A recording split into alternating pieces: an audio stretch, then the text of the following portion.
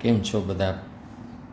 સ્કૂલની યાદ પણ આવતી હશે અને અમને પણ આવે જ છે તમારી યાદ. આ રીતે શીખવવાનું પહેલી વખત બનેલું છે. તમે લોકો સામે હો અને અમે ભણાવીએ અને માત્ર કલ્પના કરીએ કે તમે અમારી સામે છો ને અમે ભણાવીએ. આમાં તફાવત આવે છે. પણ તોય હવે તમારે અભ્યાસમાં પૂરતું ધ્યાન રાખવાનું રહ્યું. અને મોબાઈલનો આ રીતે સદુપયોગ કરવાનો છે. હમણાં એક વોટ્સએપમાં એક મેસેજ વાંચેલો હતો કે પહેલાં સ્કૂલમાં મોબાઈલ એલાઉડ નહોતો. અને એ જ મોબાઈલ અત્યારે સ્કૂલ ચલાવી રહ્યો છે. એટલે આ સમય કેવો બદલાઈ ગયો છે. હવે કહેવાનો ખાલી એક જ મતલબ છે કે ભણવામાં પૂરતું ધ્યાન રાખજો અને આ સમયનો તમે સદુપયોગ કરતા રહેજો. અત્યારે હવે જે આપણે કરવાના છીએ એ લેફિંગનું તેરમું યુનિટ છે. I keep my tryst with Everest Everest સાથે હું મારું ટ્રિસ્ટ એટલે મળવાનું વચન વચન પાડું છું. આ બચેન્દ્રી પાલનો આ પાઠ છે. બચેન્દ્રી પાલ તમે અગિયારમાં નામ જાણે જાણી ગયેલા હતા. યાદ આવે છે બચેન્દ્રી પાલ? હિમાલયન શિખર સર કરવાવાળી ભારતની આ પહેલી સ્ત્રી છે. અને અહીંયા એનો ફોટો છે. હવે ફોટો હું તમને બતાવું. આ બચેન્દ્રી પાલ છે. અને બીજા અમુક ફોટા પણ મેં બચેન્દ્રી પાલના લીધેલા છે, જે હું તમને હમણાં બતાવી રહ્યો છું. આ બચેન્દ્રી પાલ છે. અને આ એવરેસ્ટ શિખર ઉપર જે હતા અને ભારતીય ત્રિરંગો જે એણે ફરકાવેલો હતો, એ આ ફોટોગ્રાફ છે આ અંગદોરજી છે, એનો ઉલ્લેખ હમણાં પાઠમાં આવશે, ત્યારે પાછો ફોટો બતાવીશ. આ બચેન્દ્રી પાલ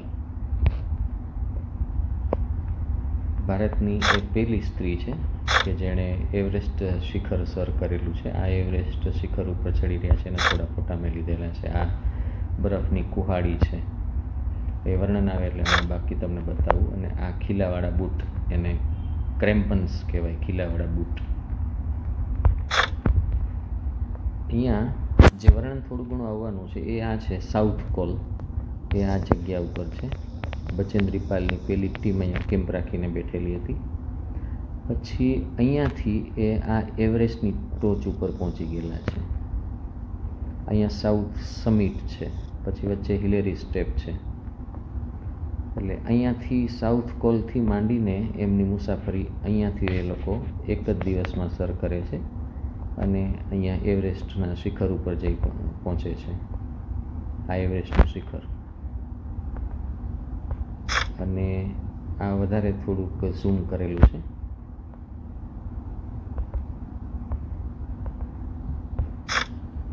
આ રોપિંગ કરીને એકબીજાની સાથે જ આ દોરડા દેખાય ને? આ દોરડાઓ બાંધી બાંધીને ચડતા હોય છે. આ એ છે. પછી આ જે બધા કપડાં પહેરેલા છે, આ ક્લાઇમ્બિંગ ગિયર કહેવાય. ગિયર એટલે વસ્ત્રો પહેરવાના કપડાઓ. પછી આ છે કેમ્પ છે south call પાસેનો.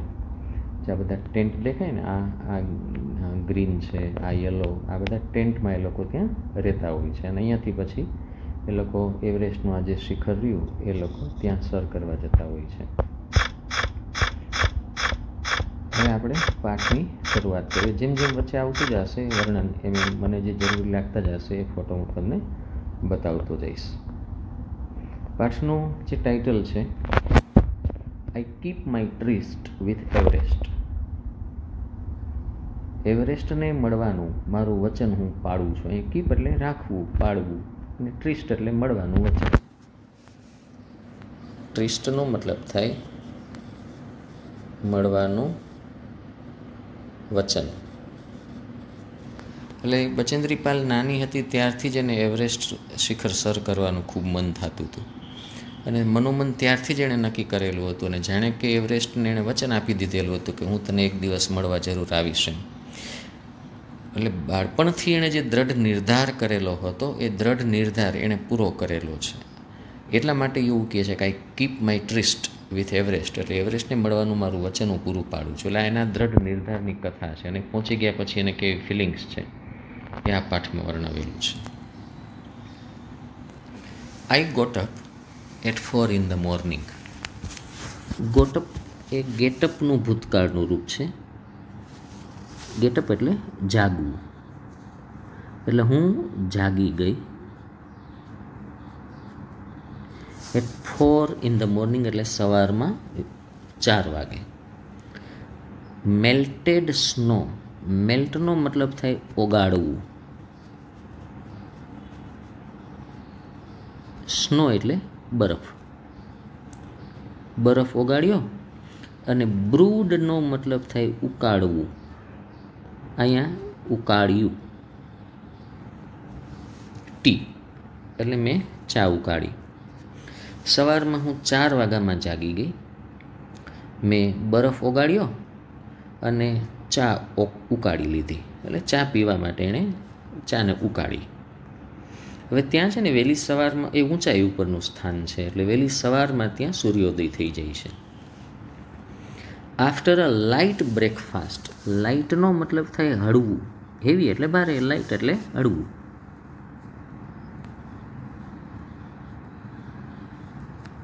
After a light breakfast મેં હળવો નાસ્તો કર્યો ઓફ અ ફ્યુ બિસ્કિટ્સ થોડાક બિસ્કિટ ખાધા અને હાફ અ સ્લેબ સ્લેબ એટલે જે ચોકલેટનો આવો ટુકડો હોય, તો આને સ્લેબ કહે એમાંથી એણે અડધો ટુકડો ખાધો ઓફ ચોકલેટ હવે નાસ્તામાં એણે શું કર્યું? ચોકલેટનો અડધો ટુકડો, થોડાક બિસ્કિટ અને ચા. એટલે એનો નાસ્તો કરી લીધા પછી હળવો નાસ્તો કર્યા પછી I left my tent left એટલે હું છોડીને બહાર આવી. ટેન્ટ એટલે તંબુ. મેં હમણાં તમને જે ગ્રીન અને યલો કલરના તંબુ બતાવેલા હતા, એમાંથી હું બહાર આવી. At around five thirty AM AM એટલે સવારનો સમય છે. સાડા પાંચ વાગે હું બહાર આવી. અંગદોરજી વોઝ સ્ટેન્ડિંગ આઉટસાઇડ અને અંગદોરજી એ બહાર ઊભેલો હતો. મેં અંગદોરજીનો ફોટો તમને બતાવેલો હતો. આ અંગદોરજી છે. આ શેરપા છે. અને બચેન્દ્રી પાલની હારે એના ગાઈડ તરીકે આ બચેન્દ્રી પાલને ત્યાં એવરેસ્ટ ઉપર લઈ ગયેલો હતો. આ અંગદોરજી છે.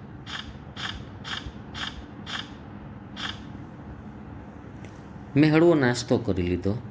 થોડા બિસ્કિટ, અડધો ટુકડો ચોકલેટ, ચા ઉકાળેલી હતી પીધી અને હું સાડા પાંચ વાગે બહાર આવી તો અંગદોરજી બહારની સાઈડ ઊભેલો હતો. Ang Dorji was going to climb without oxygen.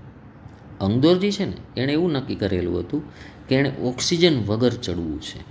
હવે જે પર્વતારોહકો હોય ને, એણે પોતાની પીઠ ઉપર આવા બાટલાઓ રાખેલા હોય છે. આ ઓક્સિજનનો બાટલો છે. હું જરાક મોબાઈલને સીધો કરું છું, એટલે તમે જરાક જોઈ લો આ ઓક્સિજનનો બાટલો છે. મોબાઈલને તમે સીધો કરીને જોજો. આજે છે ને, એ રેગ્યુલેટર છે. અને અહીંયાથી ઓક્સિજનની નળી હોય છે. અને આ છે ને એ પહેલાં જેકેટમાં પાછળ ઘુસાડી દીધેલો હોય છે. તમને ફોટો પણ એનો બતાવું ક્યાંક હશે આમાં. આ જો, આ જે છે ને, આની પાછળ એ બાટલો હોય છે. અને આ એનું ઓક્સિજનનું માસ્ક હોય છે, જેના મોટા પાસે દેખાય છે. હજી બીજો ફોટો હતો એમાં સાઈડમાં પણ હતેલું. એ જોવામાં ક્યાંય હોય તો.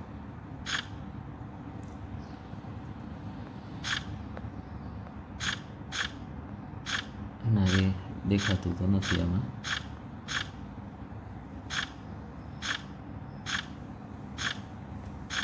આ આ રહ્યું આ જે છે ને આ ઓક્સિજનનો બાટલો છે.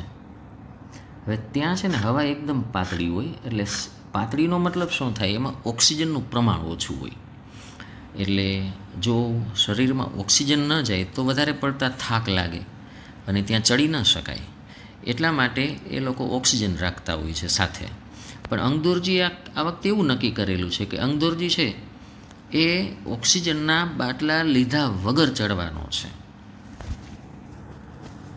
બટ બિકોઝ ઓફ ધીસ પણ આને કારણે his feet would get very cold એના ફીટ એટલે પગ વુડ ગેટ વેરી કોલ્ડ એટલે ખૂબ ઠંડા થઈ જાય. હવે આપણા શરીરનું ટેમ્પરેચર જે છે એને રેગ્યુલેટ કરવાનું કામ ઓક્સિજન કરે છે. આપણે શ્વાસમાં ઓક્સિજન લઈએ, એના કારણે બ્લડનું સર્ક્યુલેશન થાય એટલે બોડીનું ટેમ્પરેચર મેન્ટેન થતું હોય. હવે ઓક્સિજનનું પ્રમાણ ઓછું થાય તો શરીર અત્યંત ઠંડુ પડવા લાગે. એને હાઇપોથર્મિયા કહીએ ઇંગ્લિશમાં. હી ધસ વોન્ટેડ દસ એટલે આમ. એ વોન્ટેડ દસનો મતલબ થઈ આમ. He thus wanted to avoid long exposure.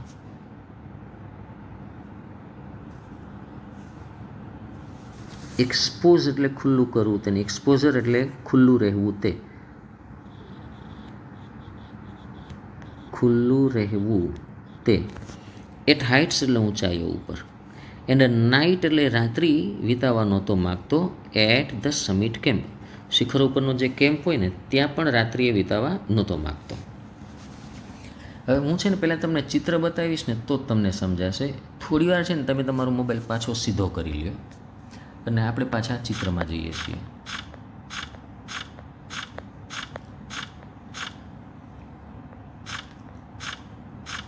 જુઓ. અત્યારે આ લોકો સાઉથ કોલોનીમાં છે. આ સાઉથ કોલમાં છે. જનરલી કરવાનું શું હોય ક્લાઇમ્બર્સ હોય ને, એ પહેલાં એક નિશ્ચિત ઉપાય ઊંચાઈ ઉપર પહોંચી જાય. પછી એક રાત ત્યાં રોકાય. જેથી કરીને માનવનું જે શરીર છે એ નિશ્ચિત પ્રકારના ટેમ્પરેચર અને એર પ્રેશરને સહન કરતાં શીખે.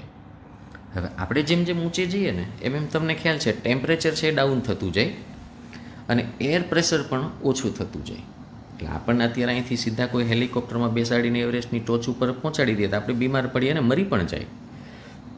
એટલે બોડીને એક્લેમેટાઇઝ કરતું રહેવું પડે, એટલે વાતાવરણને અનુકૂળ કરતું રહેવું પડે. એટલે જનરલી રિવાજ શું છે ક્લાઇમ્બિંગનો કે પહેલાં એ લોકો સાઉથ કોલોની ઉપર, આ જગ્યા ઉપર પહોંચી જાય. પછી એ ક્લાઇમ્બિંગ કરતાં કરતાં કરતાં આ જે સાઉથ સમિટ રહ્યો ને ત્યાં એક બીજો કેમ્પ એણે નાખવાનો હોય. અને પછી આ જે ગાડો દેખાય ને, બહુ અહીંથી ફોટામાં તમને ખૂબ નાનો દેખાય છે, વાસ્તવમાં એ ખૂબ મોટો ગેપ હોય છે. પછી અહીંથી અહીં એવરેસ્ટ ઉપર જવાનું હોય. પણ અંગદુરજીએ શું વિચાર કર્યો કે એક જ દિવસમાં આ જે સાઉથ કોલ છે, ત્યાંથી અહીંયા એવરેસ્ટ જતું રહેવું અને એવરેસ્ટથી સીધે સીધું પાછું અહીંયા નીચે સાઉથ કોલમાં આવી જવું. હવે આ છે ને અતિશય થકાવી દેનારું કામ છે. અને કદાચ અશક્ય લાગે ને એવું પણ કામ છે. કારણ કે વચ્ચે એ લાંબો સમય એ સ્ટે કરવા અહીંયા નથી માગતો સાઉથ સમિટમાં. સમિટ ઉપર સમિટનો મતલબ છે એ શિખર થાય. આ સમિટ એટલે શિખર, સાઉથનું શિખર. અને ત્યાં એ લોકોએ કેમ્પ નાખેલા હોય અહીંયા. એટલે એને સમિટ કેમ્પ પણ કહેવાય છે.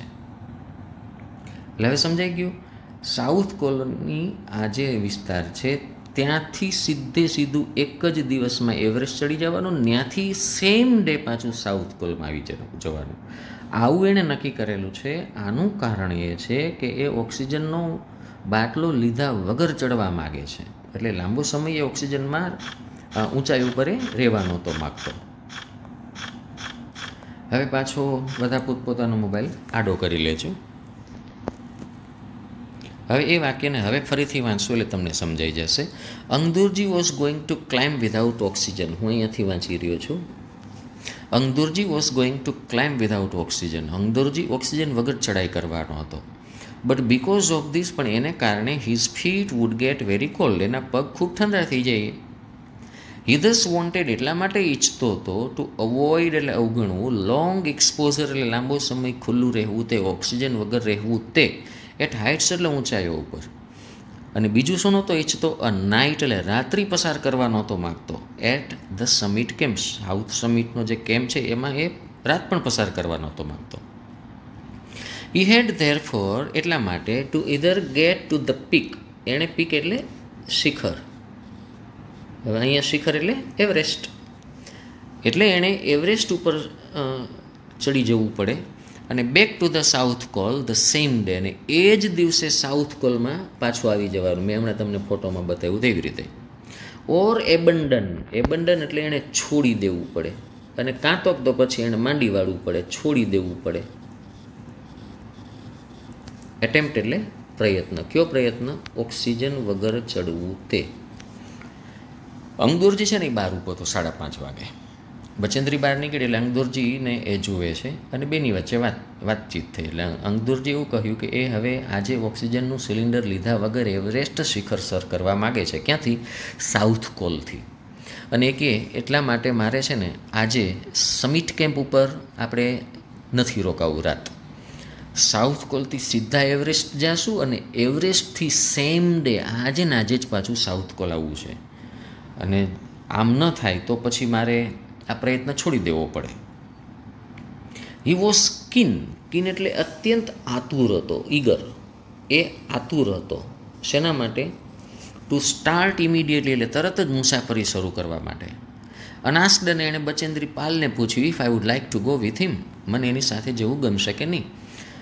અંગદોરજી કે, મારે તો આજે જ શિખર સર કરવા જવું છે. બચેન્દ્રીને પૂછે છે, તારે આવું છે મારી સાથે? હવે જો બચેન્દ્રી પાલ મનમાં શું વિચારે છે?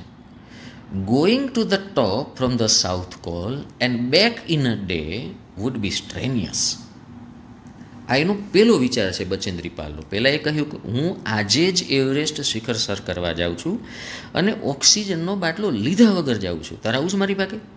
મારી હારે? બચેન્દ્રી પાલના દિમાગમાં પહેલો વિચાર.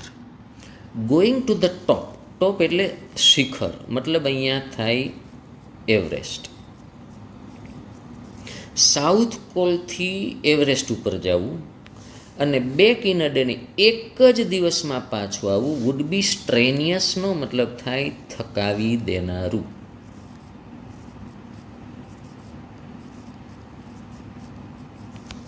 આ ખૂબ થકાવી દેનારું છે. હવે ત્યાં કંઈ સીડીઓ તો હોતી નથી. ક્લાઇમ્બિંગ કરવું પડે, બરફની કુહાડી હોય અને કેટલું બધું વજન લઈને ચડવાનું હોય છે. એક બહુ થાક લાગે અને પાછી બીજી ડિફિકલ્ટી એ છે કે ત્યાં વાવાઝોડું હોય, ઘણી વખત તો દેખાય નહીં, એટલો બરફ ઉડતો હોય અને છરીની ધાર જેવી આ બરફની પર્વતમાળા હોય. એક વખત ત્યાંથી પડ્યા એટલે પાછળથી કોઈ આપણને ગોતવા પણ ના આવે. અને પાછી હવા પાતળી. એટલે આ બધું થકાવી દેનારા પરિબળો છે. એન્ડ ટફ એટલે આ એક અત્યંત થકાવી દેનારું અને એક અઘરું કામ છે. અને બીજો વિચાર શું આવ્યો? ધેર વોઝ ધ રિસ્ક એટલે ખતરો પણ હતો. Of Ang Dorji turning back turn back એટલે પાછું આવી જવું. ટર્ન બેકનો મતલબ થાય પાછું વળવું. If his feet got too cold જો એના પગ અત્યંત ઠંડા થઈ જાય તો. હવે આ શું કહે છે? જો, શરીરમાં ઓક્સિજનની કમી આવી જાય ને એટલે આપણા હાથના આંગળા અને પગ છે ને, એમાં અત્યંત ઠંડક આવી જાય. અને કેવી લાગે? અત્યંત આપણને ખાલી ચડી ગયું હોય. ધારો કે ક્યાંય બેઠા છીએ, પલાઠી વાળીને અને પગમાં ખાલી ચડી જાય. અને હવે તમે પગ જમીન ઉપર મૂકજો. એટલે તમને પોતાને અહેસાસ નહીં થાય કે તમારો પગ છે ને જમીનને ટચ કરી રહ્યો છે. આવો આવો અત્યંત ઠંડો પગ થઈ જાય ને, તો પછી ત્યાં ક્લાઇમ્બિંગ કરવું અસંભવ થઈ જાય. તો હવે ફરજિયાત અંગદુરજીએ શું કરવું પડે? એણે પાછું વળવું પડે. એના પ્રયત્ન છોડી દેવો પડે એવરેસ્ટ શિખર સર કરવાનો. તો બચેન્દ્રી પાલને શું નુકસાન? બચેન્દ્રી પાલને એ નુકસાન થાય કે એનો આ પ્રયત્ન વ્યર્થ જાય. એટલે આ બીજો ખતરો હતો. એટલે બચેન્દ્રી પાલ મનમાં શું વિચારે છે? સાઉથ કોલથી જ એક જ દિવસમાં એવરેસ્ટ શિખર જવું અને ત્યાંથી એ જ દિવસે પાછું આવવું, આ અત્યંત થકાવી દેનારું અને ટફ કામ છે. અને બીજું ખતરો પણ હતો કે અંગદોરજીના પગ જો અત્યંત ઠંડા થઈ જાય, તો એ પાછું આવવું પડે એણે. તો આને તો ધર્મનો ધક્કો થયો. પણ મનમાં શું છે જુઓ? આઈ હાવ એવર હાવ એવરનો મતલબ શું થાય? જો કે. હેડ ફૂલ કોન્ફિડન્સ ઇન અંગદોરજી પણ મને અંગદોરજીમાં પૂરેપૂરો કોન્ફિડન્સ એટલે ભરોસો હતો કે આ વ્યક્તિ એવરેસ્ટ શિખર હંડ્રેડ એન્ડ ટેન પર્સન્ટ સર કરી લેશે. એઝ વેલ એઝ એટલે અને માય સ્ટેમિના સ્ટેમિના એટલે તાકાત. સ્ટેમિના એટલે તાકાત. And climbing capacity climbing capacity એટલે પર્વતારોહણ કરવાની કેપેસિટી કેપેબિલિટી શક્તિ. પણ અંગદોરજીની ઉપર મને પૂરેપૂરો ભરોસો હતો અને મારી ક્લાઇમ્બિંગ કેપેસિટીમાં પણ મને ભરોસો હતો. બિસાઇડ્સ ઉપરાંત no one else was ready to move at that time એ વખતે બીજું કોઈ ત્યાં જવા માટે એલ્સ એટલે બીજું કોઈ જવા માટે ત્યાં તૈયાર નહોતું. તો આ જે છે ને લગભગ વીસેક મિનિટનો આ વીડિયો થઈ ચૂકેલો છે, કારણ કે મને એલાર્મ વાગી ગયો. હવે હું પાર્ટ ટુ કરું છું. અત્યાર સુધીમાં અત્યાર સુધીમાં આપણે એવું જોયેલું છે કે બચેન્દ્રી પાલ અને અંગદોરજી બે નક્કી કરેલું છે કે હવે એ આ શિખરને સર કરવા માટે આગળ વધે. હવે બે જણા આગળ વધે છે. એટ સિક્સ ટ્વેન્ટી જો આ બીજો પાર્ટ છે વિડીયોનો, હો video part two. At six twenty છને વીસે when Ang Dorji and I stepped out from the South Col it was a perfect day છ ને વિશે સવારે જ્યારે અંગદોરજી અને મેં સ્ટેપ આઉટ એટલે મેં નીકળ્યા. બહાર નીકળ્યા. From the South Col South કોલમાંથી જ્યારે મેં બહાર નીકળ્યા, ત્યારે ઇટ વોઝ અ પરફેક્ટ ડેનો મતલબ શું થાય? સંપૂર્ણ સૂર્યપ્રકાશ આવી ગયેલો હતો. મેં તમને અગાઉ વાત કરેલી હતી કે ત્યાં વહેલી સવારમાં સૂર્યોદય થાય. પાંચ વાગ્યામાં તો અજવાળું થઈ ગયું હોય. અને છ ને વીસે તો સંપૂર્ણ અજવાળું થઈ ગયેલું હોય. There was a gentle breeze gentle એટલે હળવો હળવો. બ્રીઝ એટલે પવન. હળવો પવન હતો. અને બ્રીઝનો મતલબ થાય પવન. But the cold was intense ઇન્ટેન્સનો મતલબ થાય તીવ્ર. પવન ઓછો હતો, પણ ઠંડી અત્યંત તીવ્ર હતી. I was however warm however એટલે જોકે. જોકે મને વોર્મ એટલે હૂંફ ફીલ થતી હતી. હું અહીંયા જોકેની નીચે લખી નાખું છું. વોર્મ એટલે હૂંફ ફીલ થતી હતી. In my well insulated well insulated એટલે સારી રીતે ઇન્સ્યુલેશન કરેલું એટલે કવર કરેલું. તમે જોયું ને તો ઇલેક્ટ્રિક વાયરમાં કોપરના વાયરની ફરતે ઇન્સ્યુલેશન હોય પ્લાસ્ટિકનું. એ કવરિંગ કર્યું, જેથી કરીને શોર્ટ ના લાગે. તો અહીં ઇન્સ્યુલેટ એટલે શું અહીંયા જે શબ્દ આપેલો છે કવર કરવું તે.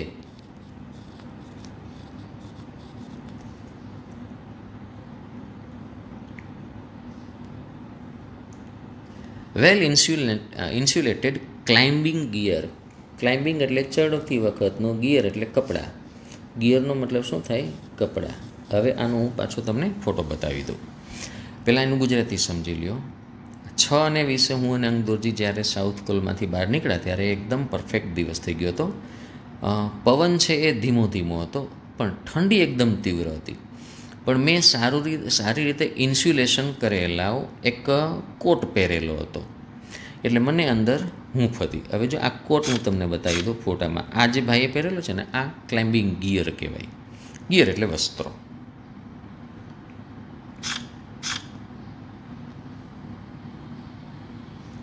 વી ક્લાઇમ્ડ અનરોપ્ડ અનરોપ્ડ એટલે દોરડું બાંધ્યા વગર અમે ચડ્યા without taking the help of a rope એટલે રોપ એટલે દોરડું. અનરોપ્ડ એટલે દોરડા બાંધ્યા વગર અમે ચડતા હતા. અંગદોરજી સેટ એટલે એણે ગોઠવી લીધી સ્ટેડી એટલે એકધારી, મક્કમ. સ્ટેડી એટલે એકધારી અને પેસ એટલે ગતિ. આપણે મીડિયમ પેસર, એવું ક્રિકેટના શોખીનો તો તમને ખબર હશે. મીડિયમ પેસર એટલે મીડિયમ ગતિવાળો બોલ, નાખનારું ખેલાડી. અંગદુરજી સેટ એટલે એણે ગોઠવી લીધી સ્ટેડી એટલે એકધારી પેસ એટલે ગતિ. But I head no difficulty પણ મને કોઈ મુશ્કેલી નથી પડતી in keeping up with him એટલે સાથે રહેવું. સાથે રહેવું. અંગદોરજી એકધારી ગતિથી ક્લાઇમ્બિંગ કરતો જતો હતો. પણ મને એની સાથે રહેવામાં કોઈ મુશ્કેલી નહોતી પડતી. ધ સ્ટીપ સ્ટીપનો મતલબ થાય સીધા ચડાણવાળા સીધા ચડાણવાળા ફ્રોઝન એટલે થીજી ગયેલા. ફ્રીઝ શબ્દ સાંભળ્યો ને? ફ્રીઝ એનું ફ્રોઝ થાય, ભૂતકાળનું રૂપ. અને ફ્રોઝન એનું ભૂતકૃદન થાય. ફ્રોઝન એટલે થીજી ગયેલા. સ્લોપ્સ એટલે ઢાળ. વર એઝ હાર્ડ એટલે સખત અને બ્રિટલ બ્રિટલનો મતલબ થાય બટકણું. બટકણું જે આસાનીથી બટકી જાય તેવું. એ સીટ્સ ઓફ ગ્લાસ સીટ્સ એટલે ખબર પડે ને તકતી ગ્લાસ એટલે કાચ. જાણે કે કાચની તકતી હોય ને, એવા આ બરફના પહાડો હતા. એટલે હવે જુઓ, આ શું કહે છે? ધ સ્ટીપ એટલે સીધા ચડાણવાળા ફ્રોઝન સ્લોપ્સ એટલે થીજી ગયેલા આ બરફના ઢાળ, વરેઝ હાર્ડ એટલે એટલા સખત અને બરીટલ એટલે બટકણા હતા એ સીટ્સ ઓફ ગ્લાસ એટલે જાણે કે કાચની તકતીઓ. માનો કે કાચ કંઈક આમ પ્રોજેક્ટ કરેલો હોય ને આપણે એના ઉપર પગ દઈએ તો કેમ કાચ તૂટી જાય? આ એવા બધા બરફના પહાડો હતા. We had to use the ice axe એટલે અમારે બરફની કુહાડીનો ઉપયોગ કરવો પડતો હતો. And I had to kick kick એટલે પાટું મારવું. રિયલી હાર્ડ એટલે સખત પાટા મારવા પડતા હતા. ટુ ગેટ એટલે જેથી કરીને ગેટ એટલે ઘૂસી જાય. અહીંયા ગેટનો મતલબ થાય ઘૂસી જવું. ખોસી દેવું. ખોસી દેવું. ફ્રન્ટ ટીથ ટીથ એટલે અહીંયા ખીલા સમજવાનું તમારે, ખીલા. ફ્રન્ટ એટલે આગલા ખીલા, ઓફ ધ ક્રેમ્પન્સ એટલે બૂટ. ટુ બાઇટ એટલે ખૂંચી જાય, પકડાવી જાય. પકડાવે. Into the frozen surface surface એટલે કિનારી. હવે જો આ શું કહે છે? પહેલાં હું તમને ચિત્રથી આ બધી વસ્તુઓ બતાવી દઉં.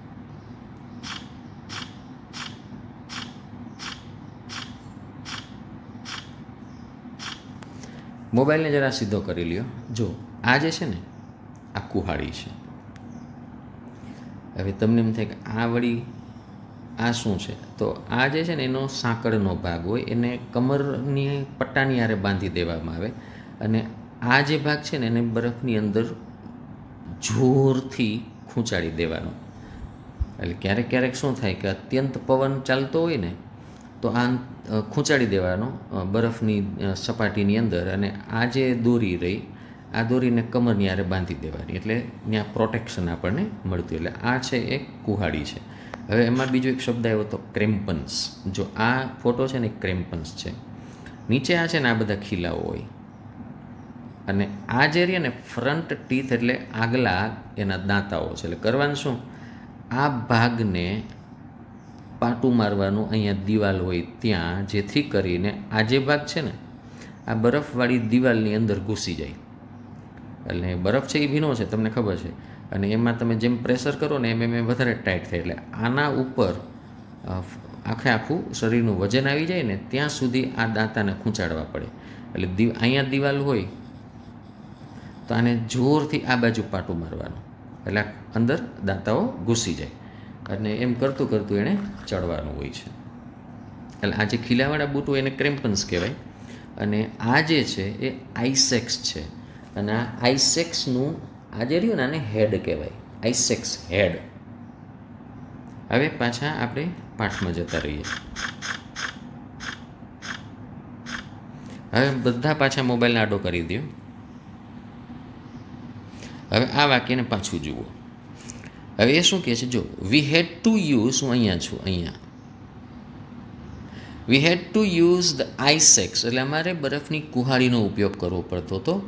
And I had to kick really hard અને મારે ખરેખર જોરજોરથી પાટા મારવા પડતા હતા.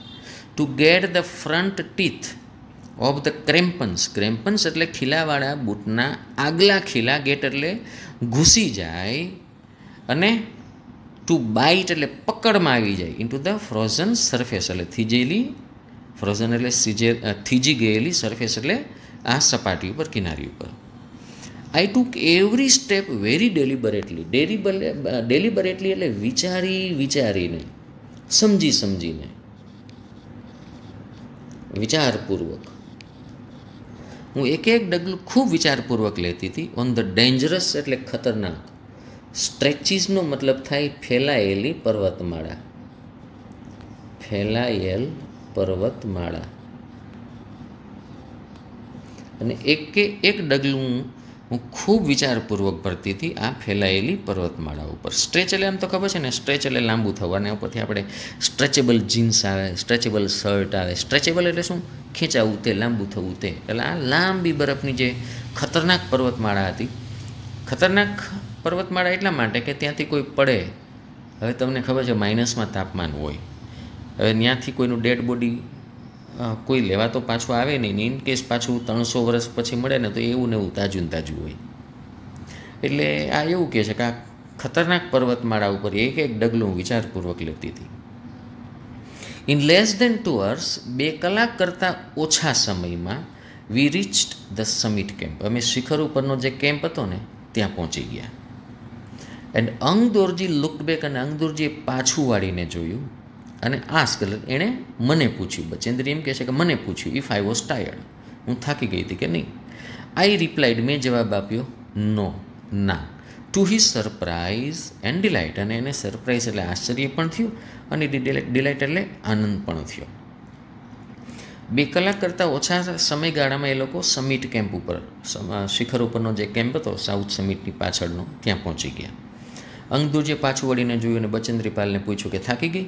બચેન્દ્રીપાલ કે ના એટલે પહેલાં અંગદુરજીને આશ્ચર્ય પણ થયું કે આ છોકરી હજી થાકી નથી અને આનંદ પણ થયો. આનંદ એટલા માટે કે હવે આ એ લોકો એવરેસ્ટ સર કરી લેશે હી ટોલ મી દેટ અંગદુરજીએ મને કહ્યું કે ધ અર્લિયર સમિટ પાર્ટી એટલે અગાઉ જે શિખર સર કરવા આવેલી જે પાર્ટી, મતલબ જે ટુકડી હતી ને સમિટ એટલે શિખર. પાર્ટી એટલે ટુકડી. એટલે શિખર સર કરવા આવેલી ટુકડી, આપણે આમ સમજવાનું. શિખર સર કરવા આવેલી team, party. Had taken four hours એટલે એણે ચાર કલાક લીધેલા હતા. To reach the summit camp એટલે શિખરનો કેમ્પ પહોંચવા માટે. એટલે અંગદુરજી કે, તું તો બહુ ઝડપ રાખે છે ને બે કલાકમાં, બે કલાક કરતાં ઓછા સમયગાળામાં પહોંચી ગયા. આની પહેલાં જે એક ટુકડી આવેલી હતી ને શિખર સર કરવા એણે સાઉથ કોલથી સમિટ કેમ્પ સુધી આવવામાં ચાર કલાક કરેલા હતા. અને એડેડ ધેટ અને એણે ઉમેર્યું કે if we could keep our present pace pace એટલે ગતિ. અને અંગદોરજી કે, જો આપણે અત્યારની આપણી વર્તમાનની ગતિ જાળવી રાખીએ ને, તો we would be on the summit એટલે શિખર. પણ અહીંયા શિખર કયું છે? આપણે એક જ શિખરની અત્યારે વાત કરી રહ્યા છે. અને એ છે એવરેસ્ટ બાય વન પીએમ અને અંગદુરજીને એમ કહે છે, જો આપણે આપણી પ્રેઝન્ટ પેસ એટલે વર્તમાનની ગતિ જાળવી રાખીએ, તો એક વાગ્યા સુધીમાં આપણે શિખર ઉપર ચડી જશું. Lhatu was following us Lhatu અમારી પાછળ પાછળ આવી રહ્યો હતો. હવે લાટુ જે છે ને, એ પર્વતારોહકોનો એક આસિસ્ટન્ટ છે ને, એનું કામ શું છે? પર્વતારોહકોના જે બધી વસ્તુ હોય, એને એ ઉપાડતો આવે ભેગો ભેગો. લાટુ વોઝ ફોલોઈંગ અસ એટલે અમારી પાછળ પાછળ આવતો હતો. અને caught up with us caught up with આ છે ને, આ ઇડિયમ છે. એનો મતલબ થાય સાથે થઈ જવું.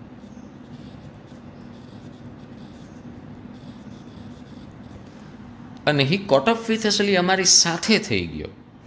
વેન વી રેસ્ટેડ એટલે અમે આરામ કરતા હતા બિલો ધ સાઉથ સમિટ એટલે સાઉથ સમિટની નીચે, એટલે દક્ષિણનું જે સમિટ એટલે શિખર.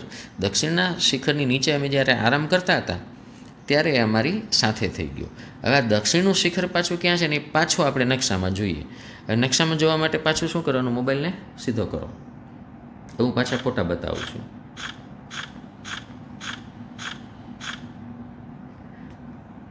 આ જે છે ને, આ અત્યારે જે આ ટોચ જે દેખાય છે, આ સાઉથ સમિટ છે, દક્ષિણનું શિખર છે. એટલે આની નીચે આ લોકો અત્યારે અહીંયા કેમ્પ ઉપર આરામ કરી રહ્યા હતા અને લાટુ એને ત્યાં એને મળી ગયો.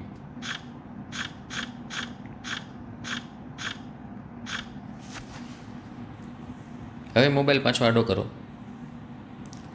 Lhatu was following us Lhatu અમારી પાછળ પાછળ આવતો હતો અને કોટ ઓફ વિથ અસ એ અમારી સાથે થઈ ગયો. When we rested below the South Summit એટલે અમે સાઉથ સમિટની નીચે જ્યારે આરામ કરતા હતા, ત્યારે એ અમારી સાથે થઈ ગયો.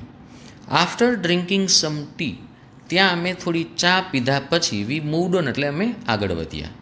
લાટુ હેડ બ્રોટ અ નાયલોન રોપ લાટુ છે એ નાયલોનનું દોરડું લઈ આવ્યો હતો. સો અંગ દોરજી એન્ડ આઈ રોપડપ એટલે મેં અને અંગ દોરજીએ દોરડા બાંધી લીધા. While Lhatu walked in the middle એટલે લાટુ છે એ વચ્ચે ચાલતો હતો. હોલ્ડિંગ ધ રોપ એટલે દોરડું હોલ્ડ એટલે પકડી રાખેલું હતું. હોલ્ડ એટલે પકડવું. હોલ્ડનો મતલબ થાય પકડવું. The rope with one hand એટલે એક હાથથી એ દોરડું પકડીને ચાલતો હતો. More for balance than security એટલે સિક્યોરિટી માટે એવું નહોતું કરતો, પણ એ બેલેન્સ માટે કરતો હતો. એટલે તમે સમજી ગયા? એટલે સૌથી પહેલાં અહીંયા જાય છે અંગ દોરજી એને કમર ઉપર દોરડું બાંધેલું હોય. પછી એની પાછળ છે બચેન્દ્રી એણે પણ કમર ઉપર દોરડું બાંધેલું હોય. લાટુ છે એની વચ્ચે ચાલે છે, પણ એને દોરડું બાંધેલું નથી, પણ આ દોરડાને ખાલી એ પકડી રાખે છે. એટલે જેથી કરીને બેલેન્સ રહે, એટલે સિક્યોરિટી માટે નથી હોતું. હવે દોરડા શું કામ બાંધવા પડે છે? એટલે એકબીજા કંઈ એમ પડી જાય, ખેંચાઈ જાય તો? ખ્યાલ આવે એટલા માટે. સેફ્ટીની એક ડિવાઇસ છે. લાટુ નોટિસ દેટ લાટુએ જોયું કે આઈ હેડ બીન ક્લાઇમ્બિંગ એટલે હું એવરેસ્ટ શિખર સર કરી રહી હતી with oxygen at about two and half litres per minute Latu જુએ છે કે બચેન્દ્રીપાલ જ્યારે ક્લાઇમ્બિંગ કરી રહી છે ને ત્યારે ઓક્સિજન કેટલો લે છે? દર મિનિટે અઢી લીટર ઓક્સિજન લે છે. અગેન્સ્ટ ધ નોર્મલ ફોર મતલબ ચાર લીટર ફોર ધીસ હાઇટ્સ આ ઊંચાઈઓ ઉપર તો દર મિનિટે ચાર લીટર ઓક્સિજન બોડીમાં જવો જોઈએ. એને બદલે આ શું કરતી હતી? આ અઢી લીટર ઓક્સિજન લેતી હતી. After he increase the oxygen flow on my regulator એટલે એણે શું કર્યું? મારા રેગ્યુલેટર ઉપર ઇન્ક્રીઝ એટલે વધારી દીધો. ઓક્સિજનનો ફ્લો જ્યારે લાટુએ મારા રેગ્યુલેટર ઉપર ઓક્સિજનનો ફ્લો વધારી દીધો, ત્યારે I found even the steeper stretches comparatively easy I found એટલે મને લાગી ઇવન ધ સ્ટીપર સ્ટીપર એટલે અગાઉ આપણે વાત થયેલી છે સીધા ચડાણવાળા.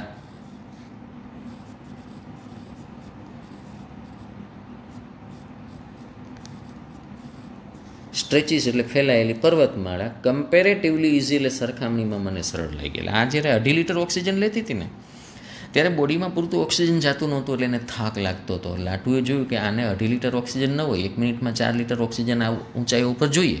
એટલે લાટુએ શું કર્યું? એના રેગ્યુલેટર ઉપર ઓક્સિજનનો પ્રવાહ વધારી દીધો. એટલે આને બોડીમાં અચાનક એને તાકાત આવવા લાગી. એટલે કે પછી આ ફેલાયેલી જે સીધી પર્વતમાળા હતી, એ પણ મને કમ્પેરેટિવલી ઇઝી લાગવા લાગી. હવે મોબાઈલ સીધો કરો એટલે વળી પાછું ઓક્સિજનનો પહેલો બાટલો જોઈ લઈએ. જો આ ઓક્સિજનનો બાટલો છે. મેં તમને અગાઉ વાત કરેલી હતી કે આ રેગ્યુલેટર છે.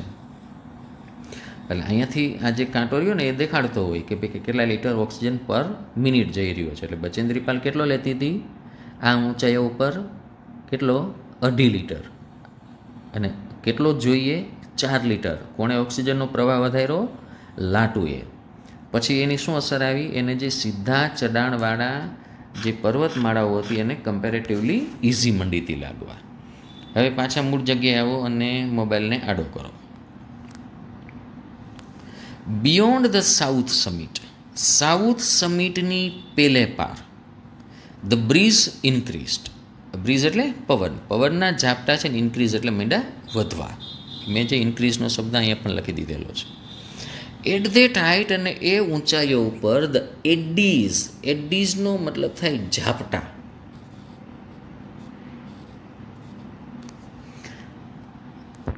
ઓફ એડીઝ ઝાપટા ઓફ સ્ટ્રોંગ વિન્સ એટલે જોરદાર પવનના.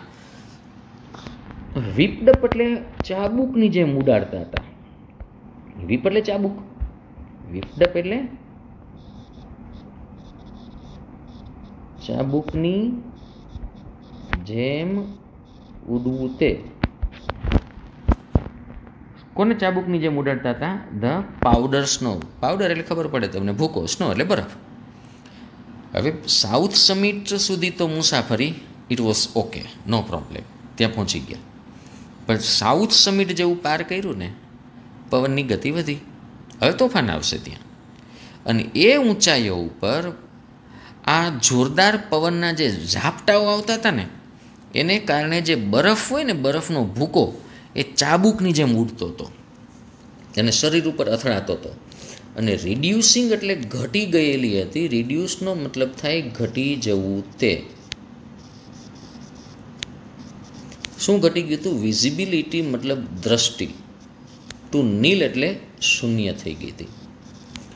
અને એવો જોરદાર પવન ઉડ્યો અને બરફનો ભૂકો એવો ઝાપટાની જેમ લાગતો હતો કે દ્રષ્ટિ ઘટીને શૂન્ય થઈ ગઈ. એટલે હવે જુઓ, સાઉથ સમિટની પેલે પાર મુસાફરી વધારે અઘરી થઈ ગઈ છે. આ ઊંચાઈઓ ઉપર બરફનો ભૂકો ચાબુકની જેમ શરીરારે અથડાય છે સ્ટ્રોંગ પવનને કારણે અને દ્રષ્ટિ છે ને એકદમ શૂન્ય થઈ ગઈ છે. મતલબ હવે કાંઈ એટલે કાંઈ દેખાતું નથી. બિલકુલ વ્હાઇટ આઉટ થઈ ગયેલું છે. જ્યાં જુઓ તે બસ સફેદ બરફનો ભૂકો. એનાથી બીજું કાંઈ નથી દેખાતું.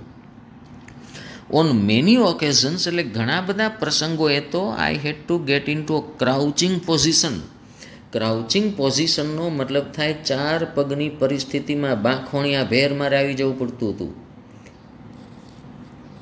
ચાર પગની સ્થિતિ. ચાર પગની સ્થિતિ આવી જવું પડતું હતું. વિથ માય બેક એટલે મારી પીઠ રહેતી હતી ટુ ધ ઓનસ્લોટ ઓનસ્લોટનો મતલબ થાય આક્રમણ. ઓફ ધ આઈસી વિન્ડ એટલે બરફ જેવો ઠંડો પવન કે જે સેચ્યુરેટેડ એટલે સંતૃપ્ત થયેલો હતો. With the fine particles fine એટલે ઝીણા ઝીણા પાર્ટિકલ્સ એટલે કણ ઓફ બોન ડ્રાય એટલે અત્યંત સૂકો બોન ડ્રાય ભેગું લેવાનું, સૂકો પાવડર્સનો એટલે બરફનો ભૂકો. બરફનો ભૂકો. પાવડર એટલે ભૂકો, સ્નો એટલે બરફ. હવે પાછું વાક્ય જુઓ. I had to get into a crouching position મારે ચાર પગની પરિસ્થિતિમાં આવી જવું પડતું હતું. વિથ માય બેક અને મારી પીઠ રહેતી હતી ટુ ધ ઓનસ્લોટ એટલે આક્રમણ ઓફ આઈસી વિન્ડ એટલે બરફ જેવો ઠંડો પવન. સેચ્યુરેટેડ કે જે સંતૃપ્ત થયેલો હતો વિથ ફાઇન પાર્ટિકલ્સ એટલે ઝીણા ઝીણા કણ. ઓફ બોન ડ્રાય એટલે સૂકા પાવડર્સનો એટલે બરફના ભૂકાથી આ શું કહે છે? જોરદાર પવનના ઝાપટાઓ આવતા હતા. એટલે જે બરફ પેલો બરફનો જે સૂકા બરફનો જે ભૂકો હતો ને, એની ઝીણી ઝીણી કણથી હવા સંતૃપ્ત થઈ ગઈ. અને હવા કેવી હતી? અત્યંત ઠંડી આઈસી આઈસી વિન્ડ એટલે બરફ જેવો ઠંડો પવન. હવે આ બરફ જેવો ઠંડો પવન કે જેમાં બરફનો ભૂકવથી હવા સંતૃપ્ત થઈ ગયેલી છે, આ હવાના ઝાપટા આવતા હતા એટલે મારી પીઠ ઉપર આક્રમણ થતું હતું એટલે મારે ચાર પગની પરિસ્થિતિમાં આવી જવું પડતું હતું.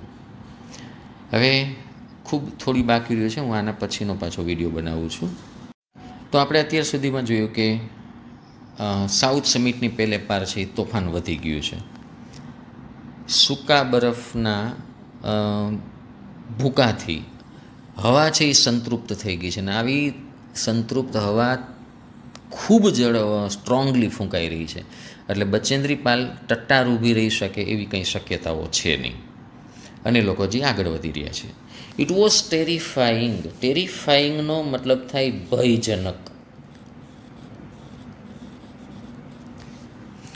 એ ખૂબ ભયજનક હતું. ટુ સ્ટેન્ડ ઇરેક્ટ ઇરેક્ટ એટલે ટટ્ટાર ઊભું રહેવું તે. On the knife edge knife એટલે છરી એજ એટલે ધાર. છરીની ધાર જેવી રીજ એટલે પર્વતમાળા. છરીની ધાર જેવી આ પર્વતમાળા ઉપર ટટ્ટાર ઊભું રહેવું એ ખૂબ અઘરું હતું. વિથ અ શિયર ડ્રોપ શિયરનો મતલબ થાય તીવ્ર ડ્રોપ એટલે ઢાળ. ઓન આઈધર સાઈડ એટલે બે બાજુ. હવે આ હું પાછું તમને ફોટામાં બતાવીશ ને તો સમજાશે.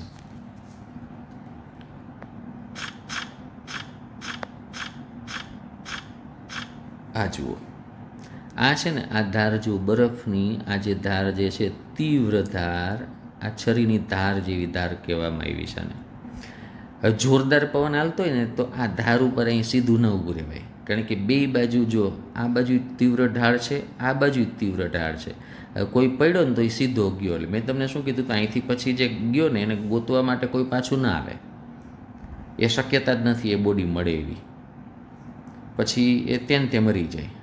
પછી ઇન કેસ પાછો વર્ષો પછી કોઈના હાથમાં આવે, ત્યાં જાય, એ બોડી એમને પડ્યું હોય ત્યાં. એટલે આ છરીની ધાર જેવી બરફની આ જે પર્વતમાળા છે કે જેની બે બાજુ અત્યંત તીવ્ર ધાર છે, અહીંયા એટલો જોરદાર પવન ફૂંકાતો હતો ને, તો કોઈ વ્યક્તિ અહીંયા હોય ને, તો એ સીધો અહીંથી ઉલડીને પડે. આ બાજુ હોય કોઈ, તો અહીંથી ઉલડીને આ બાજુ પડે કે અહીંથી પડે, કાંઈ નક્કી ન હોય. એટલે કે મારે તો આમ ચાર, એટલે આમાં ચાર પગની પરિસ્થિતિ એટલે આમાં લાંબુ થઈને આને ઉપર તૂટી વાળીને પડ્યું રહેવું પડે. કારણ કે જોરદાર અહીંથી પવન હાલતો હોય ને, કાંઈ દેખાતું ન હોય, તો અહીંથી તો એક એક ડગલું છે ધ્યાનપૂર્વક ભરવાનું હોય.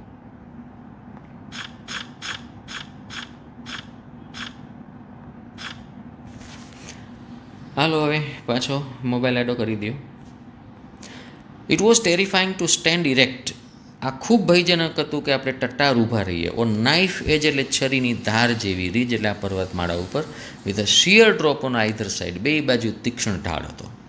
આ had to dig my ice axe deep મારે મારી આઈસેક્સ એટલે બરફની કુહાડીને ડીપ એટલે ઊંડી ખોદવી પડતી હતી. અને સિક્યોર માય સેલ્ફ મારે મારી જાતને સિક્યોર એના ઉપરથી સિક્યોરિટી એટલે સલામતી સિક્યોર કરવી પડતી હતી, સલામત કરવી પડતી હતી, મારી જાતને બાય એટેચિંગ એટલે જોડીને the waist strap waist strap એટલે કમર પટ્ટો.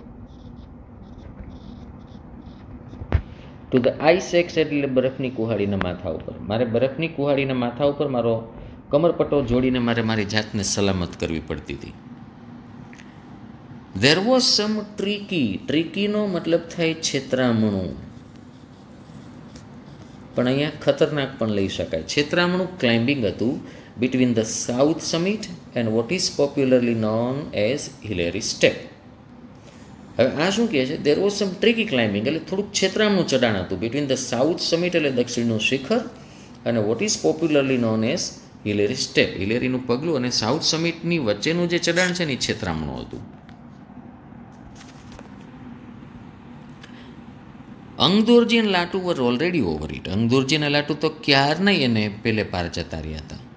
But I was still negotiating આમ તો નિગોશિએટ એટલે વાટાઘાટ કરવી, પણ અહીંયા નિગોશિએટ એટલે વિચાર કરવું. વિચારપૂર્વક ચડવું. ઇટ્સ વર્ટિકલ ફેસ એટલે શિરોલમ દિવાલ.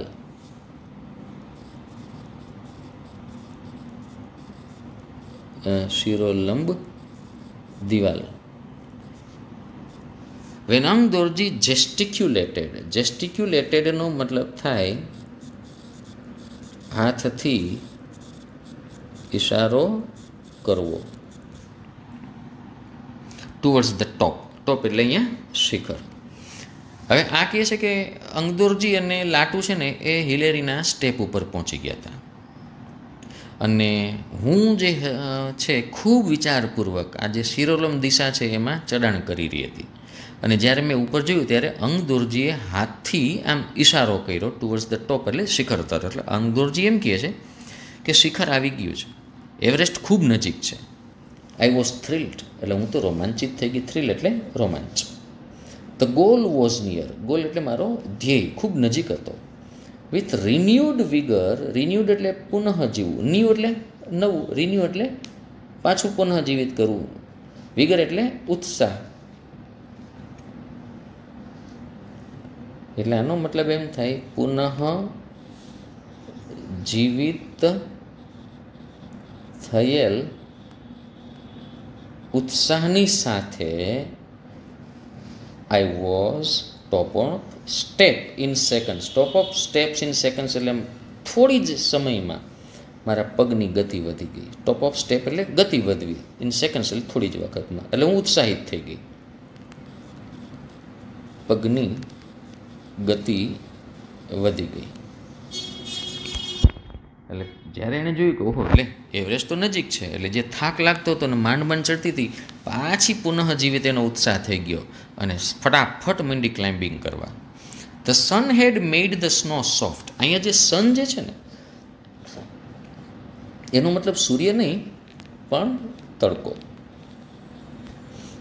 તડકાએ મેડ ધ સ્નો સોફ્ટ એટલે બરફને સોફ્ટ કરી દીધેલો હતો.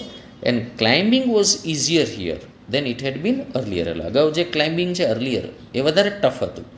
પણ અહીંયા કેવું થઈ ગયું છે? ઇઝી થઈ ગયું છે. વી ટ્રજડ ટ્રજનો મતલબ શું થાય? માંડ માંડ ચાલવું તે. ધીમે ધીમે અને માંડ માંડ ચાલવું તે. માંડ માંડ ચાલવું તે. We trust in the heavy powder snow for some time અને હવે છે ને ક્લાઇમ્બિંગ નથી, જુઓ. હવે એને ચાલતું જવાનું છે. પણ પાવડરનો સ્નો કેવો છે? વેરી હેવી એટલે ખૂબ બરફનો ભૂકો હતો. એમાં અમારે પગ ઊંચા કરી કરીને થોડો સમય ચાલવું પડતું હતું. માંડ માંડ ચાલી શકતા હતા. એવું તો ન હોય કે બરફના ભૂકાને પાટું મારીએ. હવે એ તો થોડી એવી સપાટી હોય તો પાટું મારીને ચાલી શકો ઉપરથી. બાકી નીચેથી પાટું મારવા જાઓ તો એ બળે પાછો ભૂકો થઈ જાય ને પાછી પાકી દિવાલ જેવી થઈ જાય ધેન ધ ગ્રેડિયન્ટ. ગ્રેડિયન્ટનો મતલબ શું થાય? સ્લોપ. સ્લોપ એટલે ઢાળ. સ્ટાર્ટેડ ઇઝિંગ ઓફ એટલે સરળ થવા લાગ્યો. નોટિસેબલી એટલે જોઈ શકાય તેમ. આપણે કે નોટિસ કરવું. નોટિસેબલી એટલે જોઈ શકાય તેમ.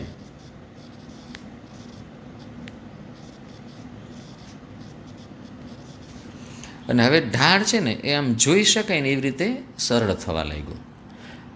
એટલે હવે એવું કહે છે કે થોડો સમય સુધી અમારે બરફના ભૂકામાં ચાલવું પડ્યું.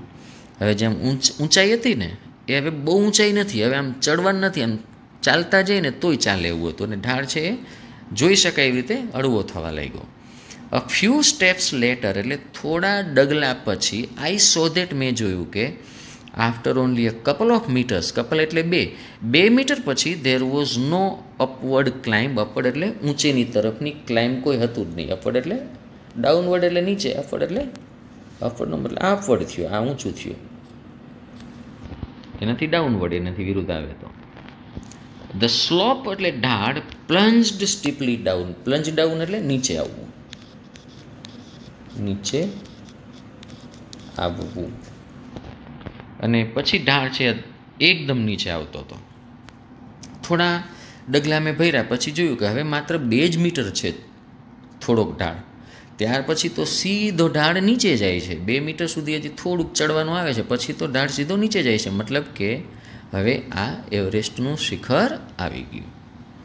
માય હાર્ટ સ્ટૂડ સ્ટીલ મારું હૃદય ઊભું રહી ગયું એમ નહીં. સ્ટીલ એટલે તો હલનચલન વગર ઊભું રહી જવું તે સ્થિર.